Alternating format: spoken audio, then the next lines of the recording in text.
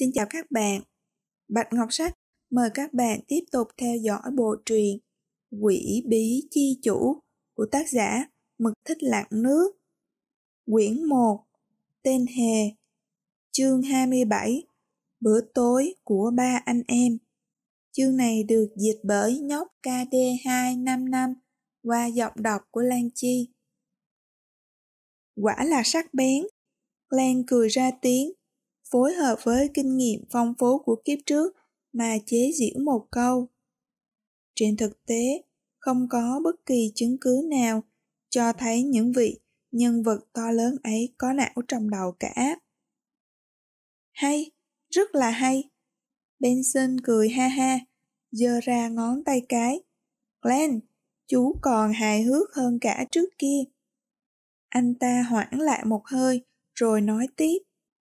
Chiều nay, anh còn phải tới bến tàu, ngày mai mới được nghỉ.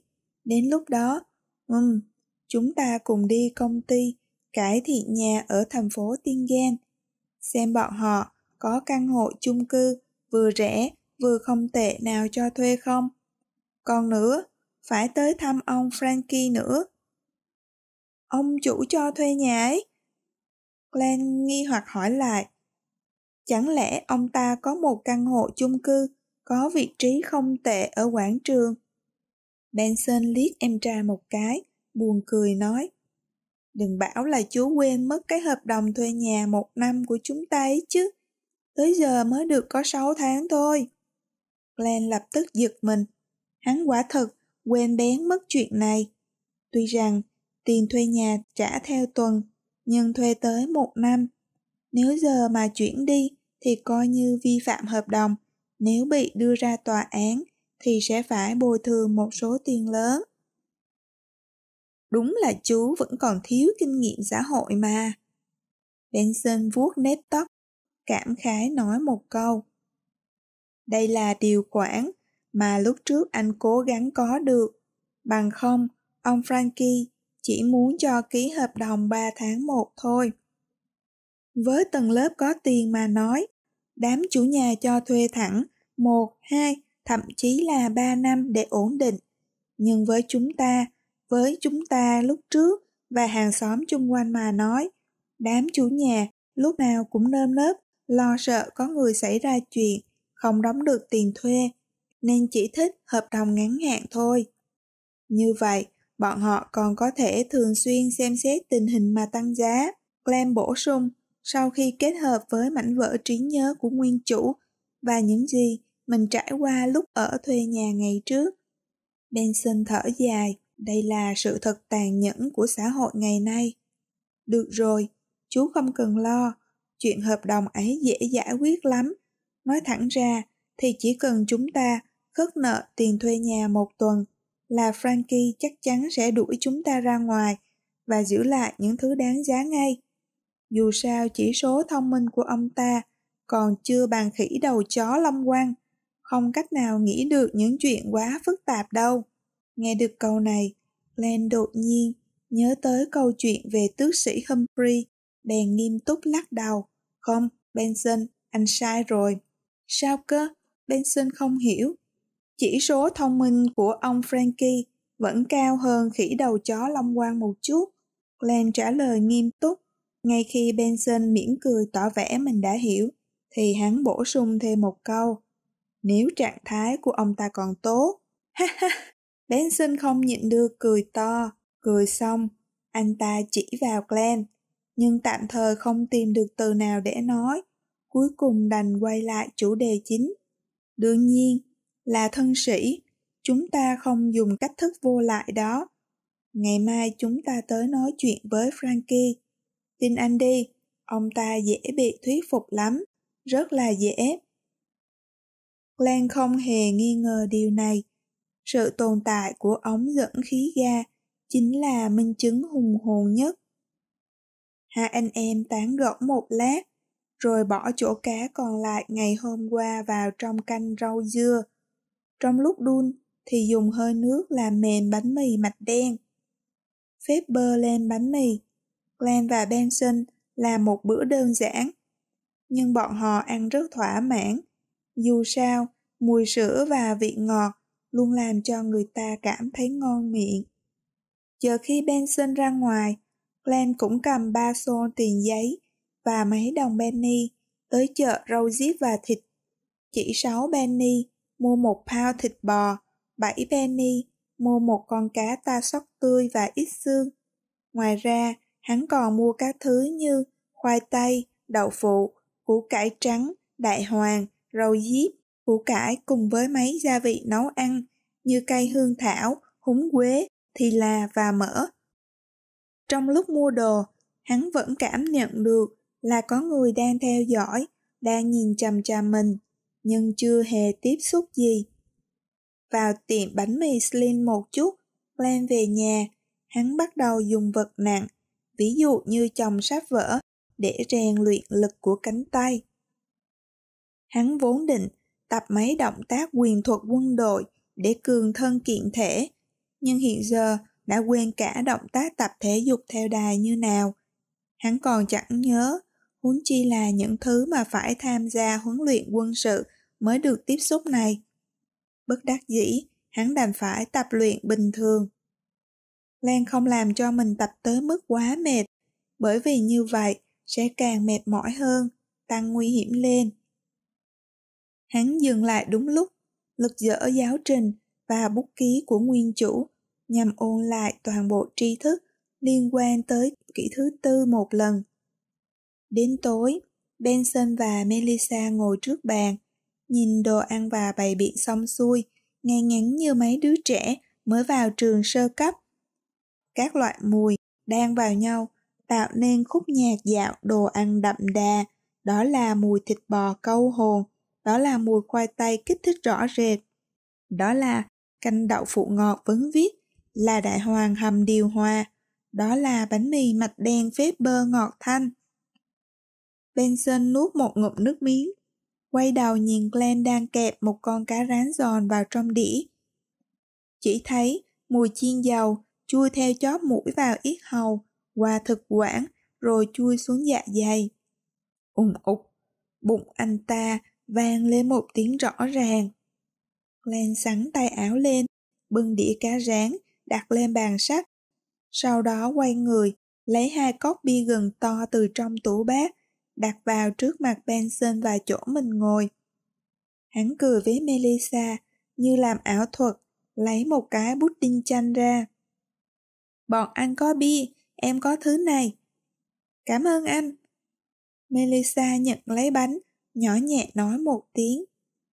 Thấy thế, Benson nhấc cốc lên, mỉm cười nói. Nào, chúc mừng Glenn đã tìm được công việc không tệ. Glenn nhấc cốc lên, cùng với Benson, cũng cùng với bánh pudding chanh của Melissa. Ca ngợi nữ thần. Ồ một. Hắn ngửa đầu, uống một ngụm, vị bia đốt tới thực quản, mang tới cảm giác tuyệt vời. Bia gừng, hay còn được gọi đầy đủ là bia nước gừng, thực tế là một loại đồ uống, không chứa bất cứ thành phần cồn nào, dùng nước gừng nhạt và nước chanh pha trộn tạo ra vị bia, là thứ mà con gái và trẻ con cũng uống được. Chẳng qua, Melissa không thích mùi vị đó cho lắm. Ca ngợi nữ thần. Benson cũng uống một ngụm, Melissa thì khẽ cắn chiếc bánh, nhắm nuốt một chút, không muốn nuốt xuống chút nào. Ăn thử đi nào. Glenn đặt cốc xuống, cầm thì và đĩa, chỉ vào một bàn đồ ăn và nói. Trong số các món này, hắn không tự tin lắm về món canh đậu phụ. Dù sao trên trái đất, hoàn toàn không ăn thứ kỳ quái như này, chỉ có thể dựa theo mảnh vỡ ký ức của nguyên chủ để sáng tác lại. Benson là anh, nên không hề khách khí, múc một thìa khoai tây nhét vào trong miệng. Khoai tây được hầm rất nhừ, kết hợp với vị của mỡ lợn và lượng muối vừa phải, làm cho nước miếng tiết ra liên tục, cảm thấy ngon tuyệt. Không tệ, không tệ. Benson nhồm nhoàng khen. Ngon hơn cái thứ mà anh ăn ở công ty bữa trước nhiều lắm, lúc đó họ thả bơ. Đây coi như là món sở trường của mình. Glenn thản nhiên nhận lấy lời khen. May là có đầu bếp nhà Wedge dạy cho. Melissa thì nhìn bát canh thịt bò. Lá húng quế màu xanh, rau diếp tươi, cùng với những miếng củ cải màu trắng trong nước canh không màu, che giấu thịt bò đã hầm nhừ. Màu tươi mát, mùi thơm nước mũi. Con bé xiên một miếng thịt bò, bỏ vào miệng nhai. Chỉ cảm thấy trong cái mềm như ấy còn có vị muối cùng vị ngọt của củ cải và mùi thơm của húng quế. Tất cả đều gợi nên sự mỹ vị của bản thân của miếng thịt bò. Con bé như đang ca ngợi gì đó, nhưng không dừng miệng lại được. Glenn nếm thử, cảm thấy ăn ngon hơn, vẫn cảm thấy đáng tiếc, vì so với tiêu chuẩn tốt nhất của mình, món này vẫn còn kém lắm. Dù sao không có gia vị, chỉ có thể thay thế bằng cái khác, nên mùi vị kỳ quái đi hẳn. Đương nhiên, cho dù là tốt nhất, thì những món mà mình nấu chỉ coi như là ở mức ăn được mà thôi. Đột nhiên, hắn cảm thấy thương cho Benson và Melissa. Glenn nuốt miếng thịt bò, lại gắp một miếng cá ta sóc rán giòn, có rắc cây hương thảo. Món cá này, ngoài giòn trong mềm, giòn giòn ngon miệng, vị thơm mặn cùng với vị mỡ hòa vào với nhau. Glenn khẽ gật đầu, lại nếm thử đại hoàng hầm, cảm thấy cũng tạm, có thể hóa giải bớt vị ngấy của thịt. Cuối cùng, hắn lấy dũng khí múc ra một thìa canh đậu phụ. Quá ngọt, quá chua. Glenn nhíu mày, nhưng khi nhìn thấy vẻ mặt thỏa mãn của Benson và Melissa, thì hắn lại nghi ngờ vị giác của mình, bèn nóc một ngụm bia gừng rửa đầu lưỡi. Cả ba anh em đều ăn tới bụng phòng lên, hồi lâu không đứng dậy được.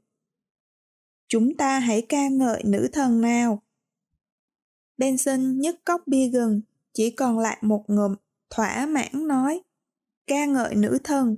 Glenn uống cạn chỗ bia còn lại. Ca ngợi nữ thần. Melissa thì bỏ miếng bánh pudding chanh cuối cùng vào miệng, thưởng thức mùi vị còn lưu lại. Glenn thấy thế, nương cảm giác hơi say cười nói. Melissa, em cứ như vậy là không tốt. Ăn món ngon nhất, thích nhất thì phải ăn ngay từ đầu, như vậy mới thưởng thức được vị ngon nhất của nó. Chờ khi em ăn no rồi, cảm giác thèm ăn giảm xuống, lại ăn nữa thì sẽ không còn thấy ngon như trước rồi. Không, vẫn ngon lắm. Melissa trả lời kiên định và quật cường. Ba anh em cười nói một lúc, chờ tiêu thực, sau đó cùng dọn dẹp bàn ăn, thìa đĩa và đem món cá rán cất đi. Sau khi dọn xong, một người ôn tập chương trình học, một người tự học kiến thức về kế toán, một người tiếp tục lật xem giáo trình và bút ký. Cuộc sống rất là thỏa mãn. 11 giờ, ba anh em tắt đèn khí ga, chia nhau đi tắm rồi đi ngủ. Tầm mắt u ám, cảm giác đần độn. Trong tầm mắt của Glenn, Don Smith mặc áo gió màu đen dài tới gối, đội mũ phớt cao nửa bỗng xuất hiện. Đội trưởng, Glenn nhoáng cái tỉnh táo lại, cũng biết rõ là mình đang trong mơ. Đôi mắt màu xám của đên không chút gợn sóng, anh ta như đang nói một chuyện nhỏ nhặt. Có người lẻn vào phòng cậu, hãy cầm súng và ép hắn tới hành lang. Sau đó giao cho chúng tôi. Có người lẻn vào phòng mình, kẻ theo dõi, rút cuộc đã ra tay. Glenn hoảng sợ, không dám hỏi nhiều, chỉ gật đầu nói, vâng. Cảnh tượng trước mắt hắn thay đổi, màu sắc trở nên rối loạn, vỡ vụn như bọt biển. Glenn mở mắt ra, cẩn thận nghiêng đầu nhìn sang phía cửa sổ. Hắn thấy một bóng lưng gầy yếu và xa lạ đang đứng trước bàn học, lặng lẽ tìm kiếm thứ gì đó. Hết chương. Nếu yêu thích chúng tôi, quý vị độc giả có thể ủng hộ bằng cách donate vào số tài khoản trên video này hoặc thông tin tài khoản ở dưới phần chú thích. Chân thành cảm tạ quý vị, mạnh thường quân.